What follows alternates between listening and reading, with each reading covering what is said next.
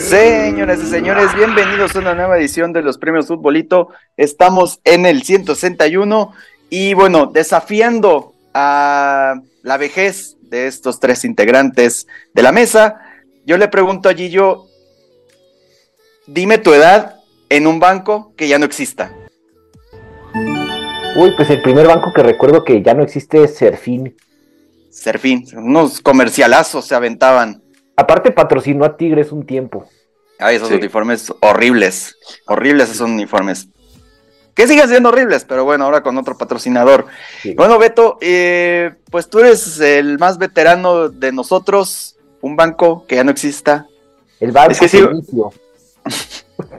Es que sí iba a decir pero bueno, voy a decir ahora Van País. Uy, Van País, Abaco. Abaco, Vital, sí, sí, sí, todos esos bancos de, de, de tristes recuerdos, por cierto. sí, eh, no basta con recordar el, el 94. Así es. Aquí, allá, cuya. En fin, moving on. Ujú. Sí, yo pues eh, iba a mencionar Vital, pero yo me voy a ir con algo más vintage, porque mi papá estaba en ese banco, el Banco del Atlántico. Oh, sí, cierto. Sí. Es decir, ese sí estaba bien vintage. Y bueno, ya pues ya para no sentirnos tan viejos, pues sí. Vamos a empezar con el programa de hoy. Empezamos con el premio jurado y nos vamos a la Bundesliga. No, no es el Bayern, no, no es el Leverkusen, es más ni menos que el Eintracht Frankfurt contra el Bochum. Así es, Pues- este fin de semana en la Bundesliga se enfrentaron y pues todo pintaba mal porque al minuto 32 llevan 4 por 0 a favor de las Águilas. El Bochum sí al 35 anotó un, golecito y ya en el segundo tiempo pues cayeron al 61, al 66 y al 69 los otros tres golecitos del Frankfurt con un gol poquito antes de Philip Hoffman para el Bochum. O sea, iban 3-0, no, 4- 4-0, 4-1, 4-2, 7-2 acabó. Y la verdad es que pues el Frankfurt tampoco fue como que jugara con todas sus estrellas. A menos que estas ya sean sus nuevas estrellas y no lo sabemos porque nadie ve la Bundesliga.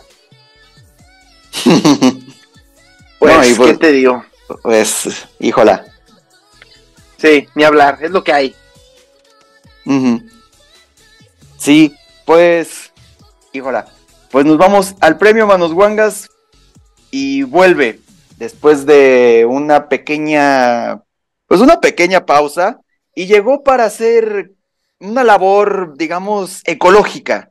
Porque bueno, no sé si ustedes sepan, en la Liga de Portugal, por, algo así como en México, con goles por causa.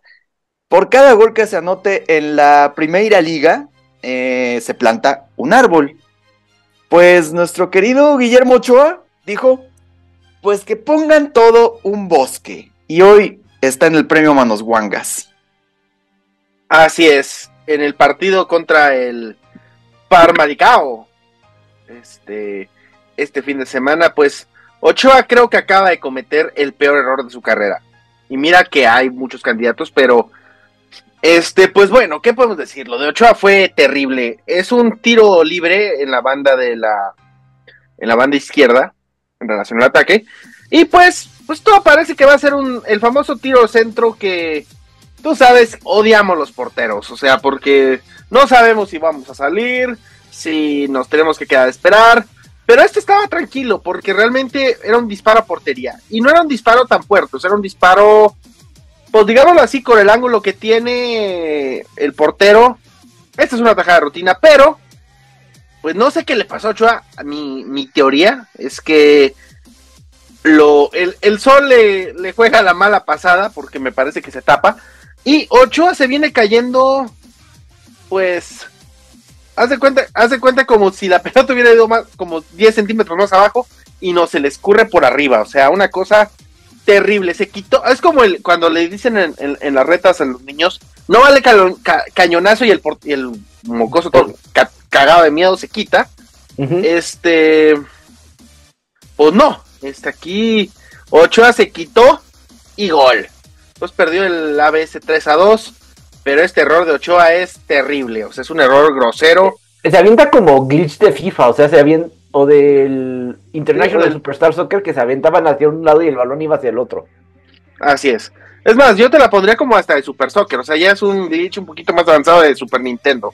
Una cosa terrible lo de Ochoa, que pues bueno, sabemos que se ha dicho por muchos años que Ochoa tiene un problema de miopía eh, no bien tratado, que de hecho al principio de su carrera te acuerdas que había un sí, el famoso debate de que le metían le metían muy fácil los goles de lejos por un problema de miopía, pues a lo mejor eso es, quién sabe. Sí, a lo mejor si hubiera tenido un buen cirujano optomet oftalmólogo, pues hubiera sido el mejor portero de la época. Pero no estamos aquí para, para el hubiera. No, pues todo, todo un misterio. Así como un misterio es nuestro premio Calucha porque es cuando te preguntas cómo fallas esto estando solo frente al portero. Le pregunto esto a Marlon Freitas del Botafogo. Yo quiero hacer un disclaimer antes de decir este premio porque como pueden darse cuenta no está Daniel. Ay, no pues. Y esta fue la semana en la que él decidió qué premios son. Y yo tengo la teoría confirmadísima, no por él, sino por mis fuentes, que no se presentó porque no tenía cara para poder decir que esto era un premio. O sea, sí, es una falla fea de Freitas, pero creo que hemos tenido peores esta semana. Y pues le dijeron, oye, se nos acabó el paracetamol y dijo, bueno, pongo esta y ya ahorita veo lo del paracetamol. No, espérate, porque espérate al final, ¿eh? Espérate al final del programa, Gillo. Espérate al final del programa, yo nomás te digo. Sí, o sea, viene estaba jugando eh, Peñarol contra Botafogo en la Copa Libertadores, iba ganando en la ida 5-0 el Botafogo, puso puros chavitos y pues uno, uno que otro aficionado a jugar uno de ellos es Marlon Freitas, que le pusieron el número 17, no sé por qué. Y se encuentra en un contragolpe. El partido iba 2-0 a favor de Peñarol, pero tenía todo para acabar, para liquidar jugando en Uruguay. Le mandan el pase filtrado, empieza a correr, se le cansa un poco el caballo, llega al área grande. Y la salida del arquero Charrúa, la chica pues bastante bien y trata de mandarla por debajo de las piernas. Tenía muchas opciones, podía recortar, podía irse un poquito más de largo, podía frenarse y el uruguayo seguramente iba a caer en, la provocación y cometerle en penal porque fútbol uruguayo. Pero no, trata de tirarla por abajo de las piernas, bueno, baja bien el piecito y detiene la oportunidad del Botafogo. Una, una oportunidad fea, un calucha feo, pero hemos visto peores semana con semana. Mm, sí, mira, esto no, no va para el calucha del año, pero. Es calucha, es calucha, pero. Es, un calucha, es, calucha. Es, un calucha de no tenemos mucho material. Ajá, correcto. Bueno, te diré que sí hay material en la NFL, porque nuevamente vuelven a ser de las suyas en estos premios futbolitos. O sea, ya quieren que esto se vuelva el premio Tochito, yo creo, propuesta. Mm, pues, ¿qué pasó ahora en el, en el Texas contra los estorbos? Así es, los Jets de Nueva York. Oye, a ver, yo no entiendo año con año cómo vergas le dan tantos putos partidos de tiempo, de prime time a los pinches Jets. O sea, ¿por qué? ¿Por qué chingados pasa esto? O sea, explícame, why? Mm, yo, mira, yo no entiendo por qué tanto. Yo estoy de acuerdo. O sea, yo, entiendo por qué sigue habiendo una franquicia llamada Jets en Nueva York. Estoy, estoy en modo Lolita Cortés eh, en un concierto de la academia con Yolette de decir, de decir que una cámara. Quiero pedir una cámara. Quiero pedirle al comisionado de la NFL que ya no le den protagonismo a los estorbos. Lo pido de corazón. O sea, está bien, o sea, estoy entiendo que es un equipo de Nueva York, que es un mercado grande, el mercado más grande de Estados Unidos y todo eso, pero nosotros, el resto del mundo, ¿qué pinches culpa tiene de ponernos a los putos Jets? O sea, ahora sí que con el meme ese de está bien, está bien que nos den algo, pero ven lo que nos están dando. O sea, güey, no mames, por favor. Por favor, no, no, no, no hagan estas mamadas. Mira, yo tengo tres ciudades que deberían de tener antes una franquicia de NFL que los Jets. A ver. Está Louisville de Kentucky, Fried Santa Chicken. Fe, Nuevo México y Albuquerque, Nuevo México. Cualquiera de esas tres ciu- ciudades lo merece más que tener dos de Nueva York. El problema es que Nueva York tiene equipos, dos equipos, al menos dos equipos en todas las pinches ligas. O sea, ese es el problema. Es una ciudad muy grande, pero, ay, o sea, neta, neta, los Jets son ese equipo que es un atentado contra los derechos humanos. Y hay una jugada para mostrarlo. Esta jugada es un touchdown, o bueno, eso creíamos. No Eso creíamos. Eso nos hicieron creer. Pero, pues Corley hace un jet sweep, gana 19 yardas, es un touchdown hasta que nos damos cuenta en la pinche repetición que el pendejo, pues porque están los, están los Jets, pues hizo un de un eh, de Sean Jackson. ¿Se acuerdan de él, el receptor de, los, de las de Filadelfia? Sí. Sí. Es decir, estás celebrando en la yarda 1 y sueltas el puto balón. Antes de llegar a la zona de anotación, no cruza la pelota la, el, el plano. Y pues resulta que esto es un fumble. Y aparte touchback. Así que los Texans se quedan en la yarda 20. Cuac, cuac. Mm, ujú. Ay, Dios mío, o sea. Ay, ay, ay, ay, terrible, o sea. Terrible. Los Jets ganaron este partido, pues. Porque Aaron Rodgers ya no soportaba seguir perdiendo más. Pero. Ay, o sea, neta. La sema- ¿Te acuerdas el año pasado lo que nos dieron los Jets? En un juego de prime time. Sí. No, yo trato de bloquear esos contra tu- recuerdos. Fue contra tus delfines, Gillo. El famoso pick six de un Hail Mary. Ah, sí, es cierto, en jueves, ¿no? Así es. No, un vier- era el, el- el viernes, el viernes negro, ¿te acuerdas? El primer partido Sí, de viernes negro. Ajá. Ajá. Ujú. Y pues es la franquicia que nos ha dado el Bad Fumble y otras cuantas jugadas infames. Pues una más a la lista. Terrible. Terrible, la verdad. O sea, está bien que los juegos de jueves sean una porquería, pero no mamen, tampoco. Tampoco, no, tampoco exageren. Ujú. Tampoco ofrezcan tanta porquería. Así es. Mejor nos vamos a algo más bonito. Vámonos, a- vámonos al antipremio, aunque pues. y, pues es que es cuando yo me pregunto cómo. ¿Cómo metes este golazo? Del cómo. ¿Cómo? Sí, partido contra la Lazio, un partido pues Uf. bastante pues atractivo, la verdad es que el Como no juega mal. El Como de, Ce- de Cés Fábregas, ahí está Patrick Cutrone, está este el futbolista es- es hispano-argentino Paz, Nico Paz, proveniente del Real Madrid. O sea, tiene buenos jugadores el Como. Y uno de los que pasa bajo el radar eh, se trata del italiano Mazzitelli. El partido iba 2-0 a favor de la Lazio. Y no sé cómo le hace, pero se inventa un golazo. Bien, abren el balón por la banda izquierda. Le filtran el balón, le rebota en la cabeza a un defensa de la Lazio. Se la acomoda con el pecho y queda de espaldas a portería. Pues, ¿qué hago? La mando para atrás, la controlo. No, de primera una media chilena que le sale perfecta a segundo poste. El arquero de los amados eh, jugadores de la Lazio por Hugo se quedaron atónitos. Y todos dijeron, ¿cómo metió ese gol? Yo creo que no nos vamos a cansar de ese chiste del, del cómo. Pero, pero ¿cómo es que no nos cansamos? Yo quiero saber cómo. ¿Cómo es que seguimos con este chiste? Exactamente. Yo ¿Sabes? todavía... Desde el especial de, de ascensos y descensos hemos traído este, este chiste. O sea, ¿cómo, cómo ha durado? Pero ¿Cómo, ¿cómo, es que esto? alguien se va a quejar? Pues mira, ahora sí que pues le, le vamos a decir que, que, que, que soporte y coma verga. ¿Cómo? No sé. ¿Cómo te atreves a decir esas palabras en este programa para toda la familia? Pues, Así es. pues sí. Eh, y ahora pues vamos a otra, co- otra cosa que decimos, pero ¿cómo? Es nuestra liga tercermundista MX. O sea, el partido entre Chivas y, Pumas, el, el que denominamos aquí en la redacción como el derby puro joto aquí.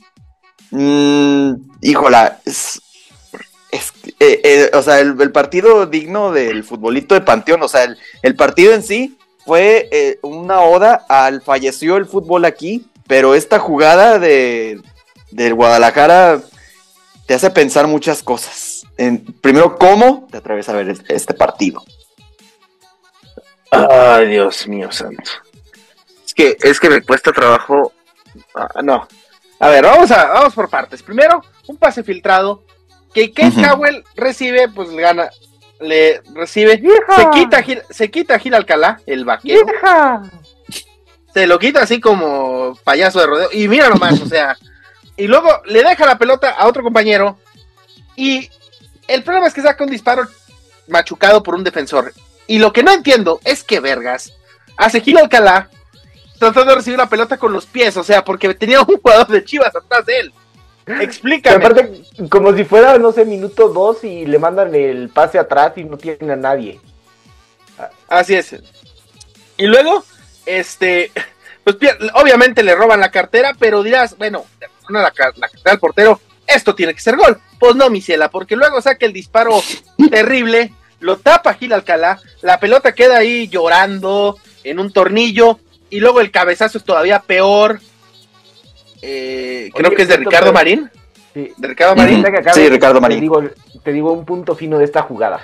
Y luego, este, se la queda Gira Alcalá y luego jala todo el pinche oxígeno del estadio Akron porque se dio cuenta de la que está baleando.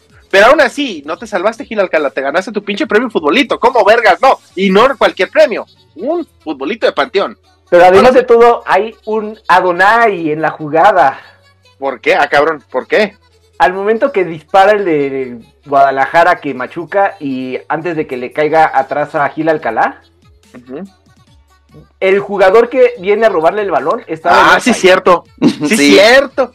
No me he fijado, pero sí es cierto. Sí, es cierto. Está, hay dos defensas, pero está justo. está solamente hay uno. El de Chivas y ya Gil Alcalá. Así es, hay uno de la, o sea, sí, nada más tiene un, un, defensor delante, entonces. Ah, creo que sí marcaron pues, fuera de lugar. Estoy viendo que el árbitro levantó la manita. Ah, ah bueno. Sí. Pero aún así, o sea, güey, lo que procede aquí es terrible, o sea. O, sea, hasta los... gol, todos los comentaristas estarían, pero ¿cómo le invalidaron el gol a las Chivas? Es que se la traen contra ellos.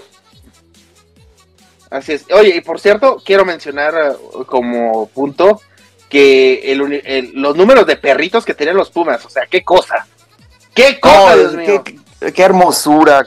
Eh, eh, nomás quiero recalcar, eh, Pumas estaba haciendo una campaña de no compres, adopta, pero qué bonita campaña, qué bonito. Sí, los números de perros son una cosa, ahora sí que muy perra, la verdad. Eso sí. Póngale unas croquetas a ese uniforme. Pero ¿cómo? Pero, pero no esta jugada, por favor. Ah, no, esa, esa sí. Esta jugada, esta jugada. Y lo peor es que fue, creo que lo más relevante de todo el partido, ¿no? O sea, esta jugada se la pones a tus perritos y yo creo que tienes un caso de crueldad animal. Sí, no, no, no hagan eso con sus mascotitas. Mejor pónganles el futbolito de oro. Porque, a ver, eh, ahora sí que el, este, de entre todo este desmadre que nos hizo Daniel para el guion, al menos nos dejó algo, algo digno, algo que podemos decir vale la pena. La pero, te, ¿Mm?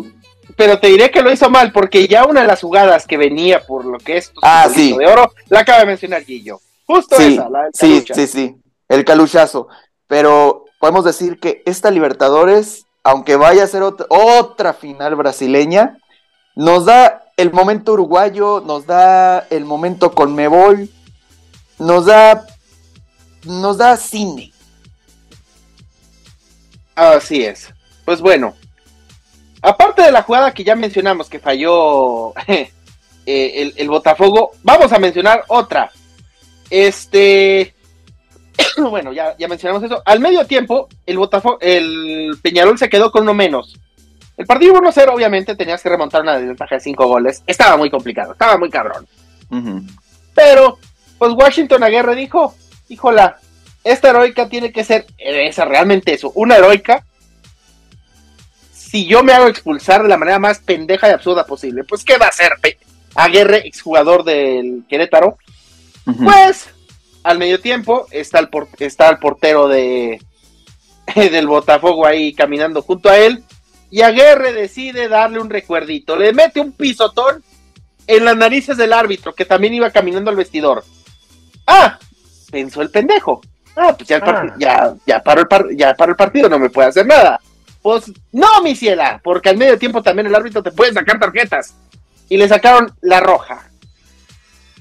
La rojita. O sea, qué manera tan estúpida de regalar una roja. O sea, está bien.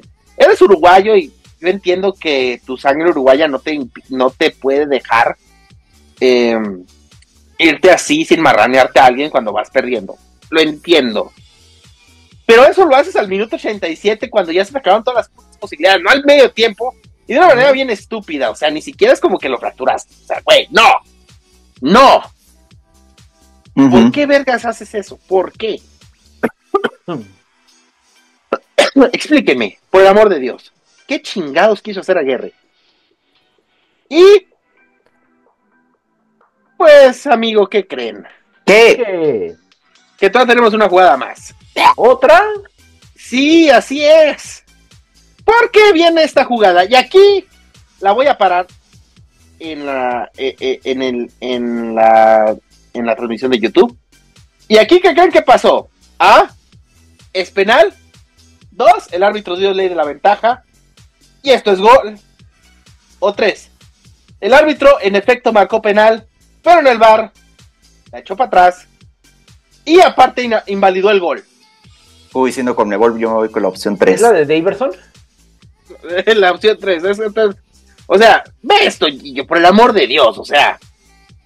Esta jugada es, es, una obra renacentista, porque el penal es bien, o sea, la falta es súper, súper, súper obvia. Es mano, es una mano. O sea, es una mano que no es intencional, ¿estamos de acuerdo? O sea, existe mano, existe mano. Pero pues queda libre la ventaja, o sea, le queda justo al jugador del Botafogo déjala correr, tienes tiempo de regresarte a la jugada. Pues el árbitro no, no aprendió que hay de la ventaja y pues marcó el penal. Y lo que sucede cuando marcaste el penal y la echas atrás en el bar, pues tienes que decir, pues sabes qué, pues esto... Sí, sí, pues no, esa jugada. no vale ni el penal ni, la, ni el gol. O sea... Sí. No. Ay, Dios. O sea, el arbitraje con Mebol... Y, y, ni siquiera es que esté el Will Roldán marcando esto. O sea, no. Es un árbitro argentino.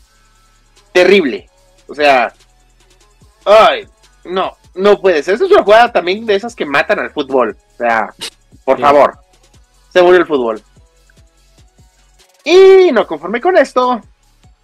Todavía hay una más. Porque. ¿Todavía hay más? Sí, amigo. Sí, como chingados que no hay más. Porque pues ya con el partido 2 a 0, faltando 22 minutos para que se cierre todo, pues dice, dice Mateo Ponte que pues también él se quiere, quiere ir a las regaderas antes de tiempo, al igual que a Guerre.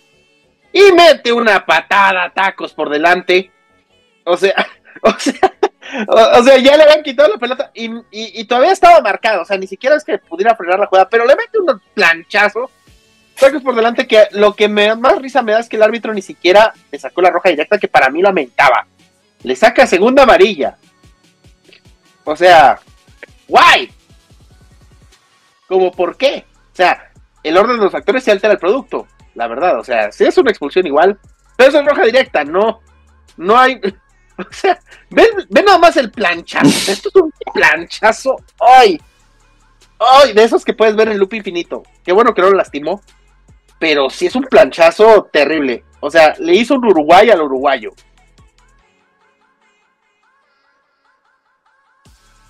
Y pues este partido, este partido quedó 2 a 0, ganó Peñarol. Pero, pues en el global, 5-2 Botafogo está en la final. Habrá otra final brasileña. ¡Yay! En el Monumental. ¿Y qué creen? ¿Qué? que se nos viene una entrada terrible en el Monumental de River, porque pues obviamente final brasileña no atrae, no no va a atraer exactamente, y tampoco es que los brasileños viajen mucho a Argentina. Entonces, amigos, otra final con sede única que es un fracaso. Me recuerdo que van a estar en la final porque disocié. Ay, Dios, el Peña, el. Pues es el Botafogo contra el Atlético Mineiro. Contra el Atlético con Mineiro. el Atlético Mineiro. Mm, sí, yo también voy con el Atlético Mineiro. Pues, Porque, eh, mira, confiarle las cosas al Botafogo, eh, eh, híjola, es como confiarle a, Dan- a Daniel tus medicinas. Pero además, un Botafogo Atlético Mineiro es como si la final de la Champions la jugaran, no sé, el Girona contra el Boloña, ¿no? no, no, te la pongo peor. Un eh, Girona contra el Valencia. Óyeme, O sea, del, del mismo país, pero equipos madreados al final del día. Aunque bueno, el Botafogo tiene la posibilidad todavía de ser campeón de liga. Es, es Botafogo. pero bueno, el punto era Es lo- que son dos Sí. equipos que pues no sabes, o sea, no están los habituales, Palmeiras, Sao Paulo, Santos, este, No. los equipos grandes de Brasil, vamos. No, pues el, el- el- el Peñarol eliminó al, al Flamengo. Ajá. Este, por El cierto, Fluminense tampoco quedó. Por cierto, recalcando el tema, mira nada más, el Botafogo está en primer lugar del Brasileirao con dos puntos de ventaja sobre el Palmeiras. No, no, no puedo el confiar. Minero, no, yo tampoco. Y el Minero está en décimo, o sea, en décimo con 41 puntos, es decir, tiene 26 puntos menos que el Botafogo en, en, en el Brasil, en la liga. O sea, en teoría el Botafogo tiene que ser súper favorito, pero... Ay, Eh, mira, yo te tengo un, yo para la gente de Botafogo les tengo una buena noticia. Tienen la posibilidad de ser campeón de Copa Libertadores por primera vez, sobre todo porque no sé si sepan esta data, pero el año que termina en cuatro, un equipo re- recibe su primera Copa Libertadores. Ya pasó con Vélez en el 94, con Once Caldas en el 2004, con San Lorenzo en el 2014. O sea, están las posibilidades. La mala noticia depende de ustedes. y que aparte... Y que aparte faltan ¿qué? seis partidos, ¿no? En, en el Brasileirao. En la Brasileirao. O, O sea, sea, sí, que 18, pueden ganarlo 18 por todo o perderlo todo o ganar uno y uno. Así es. 18 puntos por, por disputarse, con 6 de ventaja. Como, a ver, Hugo, di lo tuyo. Mira, mira, eh, ¿me repites cuántos puntos tiene de ventaja? 6. Seis. Seis puntos, faltando seis jornadas para que termine el Brasileirao, es el marcador más engañoso para Botafogo. Yo nada más voy a decir, Botafogo, por el amor de Dios, ganen algo ya, no pechen. Ya tienes la ahí lo tienes votando en el área, tienes un penal de movimiento, tienes oportunidad de hacer historia, por favor no la vuelvas a cagar como el año pasado. Sí, que hasta se llevó su premio futbolito del año. Sí. Así es. Muy bien. Y bueno, Gillo, ¿dónde nos pueden seguir la gente de Botafogo? ¿Dónde nos pueden, este, dónde podemos recibir sus, pues, la moneda que hay en Brasil? Nos pueden Real. escribir en Twitter, Facebook, Instagram, YouTube. Y también nos encuentran en en Spotify, en iTunes y en iBooks como El Futbolito MX. Y también nos pueden decir cómo le dicen allá en su barrio, en su ciudad, en su pueblo, en su... Cuando eran jóvenes. Al no se vale tirar, decía... a- nosotros le decíamos trayazo. No se vale No se va a trayazo. tirar cañonazo. No, se vale cañonazo. Ahí nos pueden Bien. comentar cómo decían ustedes. Y bueno, eso fue todos los premios bolitos de esta semana. Acompáñenos la próxima semana. Allá en Obregón lo que decían es, no se vale rápida de cuatro costuras. ¡No! Pensé Oh, que ibas a decir otra cosa. Pensé que ibas a decir otra cosa. Qué bueno que no. Qué bueno que no. Vámonos. Vámonos. Sucio.